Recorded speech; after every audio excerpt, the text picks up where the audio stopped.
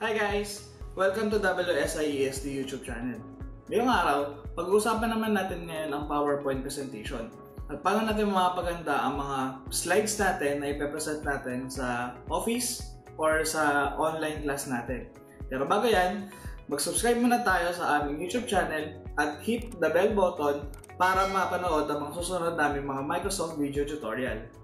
Topic natin ngayon is about PowerPoint presentation. Uh, may papakilala ko sa inyo isang feature ng PowerPoint presentation na pwedeng makatulong sa atin para mapaganda yung mga pinapresent natin sa mga online seminars, online meetings, at sa mga events sa physical classroom natin pag bumalik na tayo sa normal. Papakilala ko sa ngayon si Designer. So, uh, available na to sa mga bagong version ng Microsoft at Microsoft PowerPoint.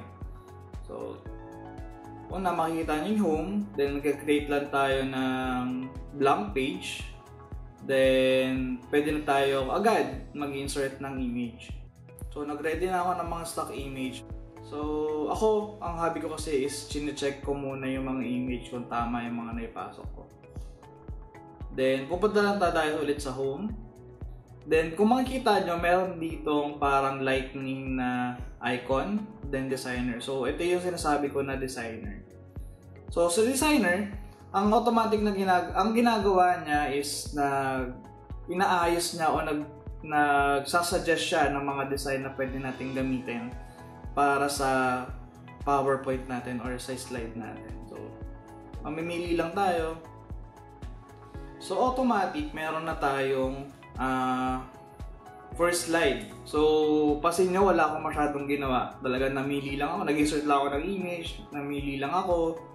So, maganda na siya tignan. So, healthy foods. For example, ito ang topic natin ay healthy foods. So, for example, paano kung may mga text kang ilalagay? So, sa, si designer, meron na rin siyang uh, binibigay na sample dito habang wala pang laman yung uh, slide mo. Pero, Uh, kung lalagyan natin siya ng sa ano, ng image, then meron siyang sariling text.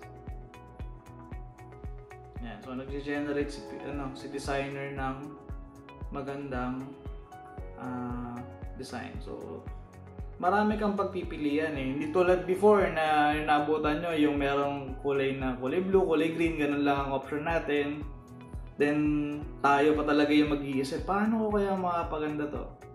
So ngayon, meron lang ganito si PowerPoint na click na lang, lagay-lagay na lang natin kung ano yung mga gusto natin ilagay na informations, then yung image. Diba? Napaka-professional ng tignan pag gumagamit tayo ng designer. So, halos lagay-lagay ka na lang ng kung ano ng image.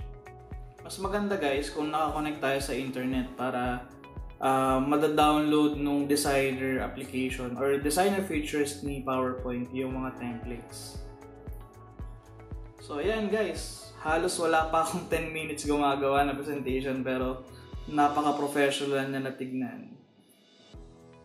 So yan guys, natutunan nyo na kung paano gamitin si PowerPoint Designer.